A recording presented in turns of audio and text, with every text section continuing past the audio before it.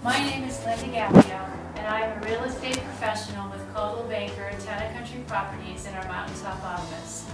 I'm a native of northeastern Pennsylvania and have lived in Mountaintop for over 27 years. I have helped numerous people buy and sell their homes in the past 11 years as a realtor.